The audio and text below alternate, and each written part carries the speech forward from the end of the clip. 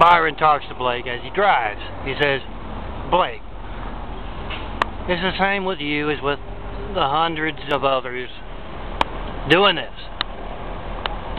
You say uh, your pretend Melton is in there, one and only there, for Little Arabia every night. And we know that's not true. We know it's the one and only there. Stone Cold, John Milton Brady. It's to be trouble. Come clean.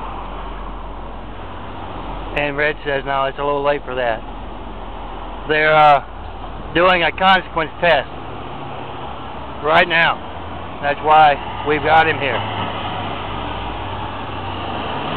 And uh, Blake is a little nervous. He kind of moves his hands over to the door. He's heard about those knuckle consequences.